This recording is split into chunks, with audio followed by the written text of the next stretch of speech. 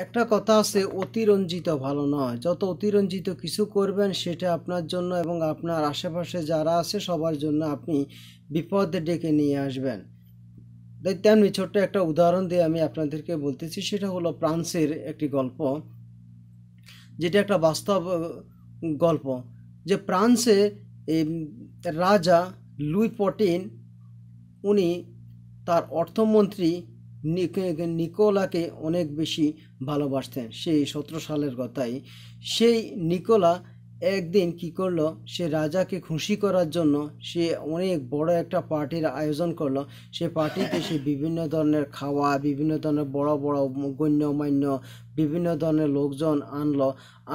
আনার তার একটাই লক্ষ্য, উদ্দেশ্য ছিল সে রাজাকে বেশি খুশি করানোর জন্য এবং রাজাকে সবার কাছে প্রচার করার জন্য যে রাজা অনেক ভালো, রাজা অনেক কিছু করতে পারে। রাজার কিছু তোষামতি করার জন্য সে এমন একটা আয়োজন করল, খাওয়ার আয়োজন। সে আয়োজনে এত টাকা যে ব্যয় করল, যেটা কখনো রাজা লুই পটিন কখনো চিন্তাও করেন নাই যে এই ধরনের একটা কাজ করবে। পরবর্তীতে রাজা কি করলেন?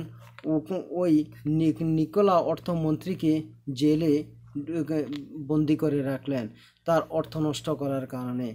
রাজার দেখল যে ওই দিন যে অর্থগুলো নষ্ট করেছে, এই অর্থ দিয়ে রাজা তার দেশকে অনেক বছর চালাইতে পারতো। কিন্তু এত টাকা নষ্ট করেছিল কিন্তু এখানে একটাই সে অপরাধ ছিল, সেটা হলো যে এত বড় একটা পার্টির কোনো দরকার ছিল না, যেখানে সে অর্থমন্ত্রী রাজাকে খুশি করার জন্য করেছিল, রাজার সম্মান বাড়ানোর জন্য করেছিল, কিন্তু আসলে বাস্তব সেটা নয়।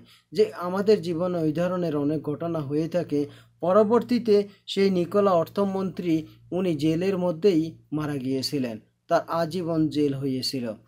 তা আমাদের মধ্যে আমরা অনেক সময় এমন কিছু অতিরঞ্জিত কাজ করি যা আমাদের আসলে দরকার নাই। তারপর আমরা করে বসি যা আমাদের জন্য অনেক বিপদ ডেকে নিয়ে আসে। তা আমাদের উচিত আমরা যেন কখনো অতিরঞ্জিত এমন কিছু না করি যাতে করে আমাদের মহাবিপদ ডেকে নিয়ে আসে।